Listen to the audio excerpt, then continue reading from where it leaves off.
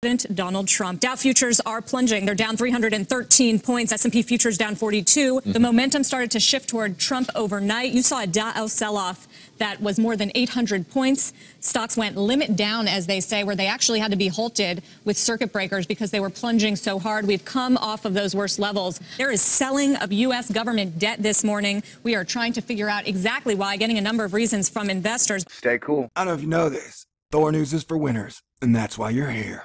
So stick around. I need your love. This is a Thor News presentation. Hit the button, baby. And here we go. Thor News presents. Everyone you dicks wants to talk about planets. Man, what a weird day. Donald Trump is now our president. Stock markets are crashing.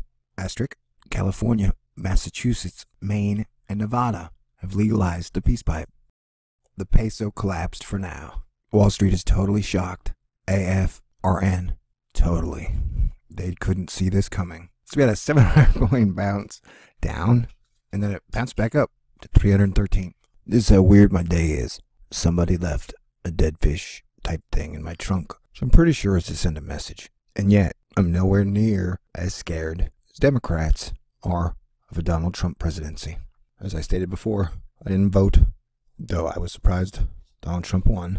Just want to remind, I will admit, I thought his acceptance speech was classy, and I want to remind people that politicians say one thing on the campaign trail, but act another way when they govern. So technically, President Trump hasn't done a single thing yet.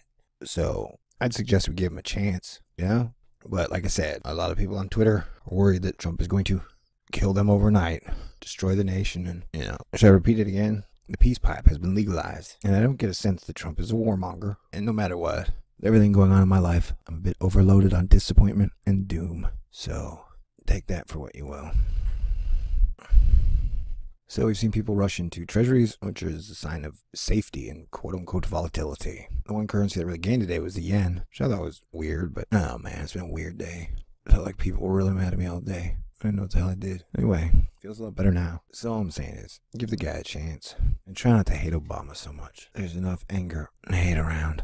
We don't need any more. Alright, so let's go in and check on futures. Boom, 309. And that's nothing. you know, like with this stock market, you don't even really need to bat an eyelash if it's over 500 for more than two days in a row. Anyway, I wouldn't be surprised to see the markets close green by the end of the day. And right now it is about 5 a.m. Texas time. Not yet. I was going to go get donuts, though. The Nikkei is the highlight, is the big declining equity bourse in Asia, down by 5%, biggest decline since Brexit. The Peso has been absolutely hammered, a real proxy for Trump's presidential hopes, down by 9% today. All these currencies today are falling against the Japanese yen. The yen is the haven of choice, which was expected. Big sell-off here for the Wall Street Open. A lot of action in government bonds. Check out the 10-year Treasury note yield. We're looking at levels here that we have not seen since April.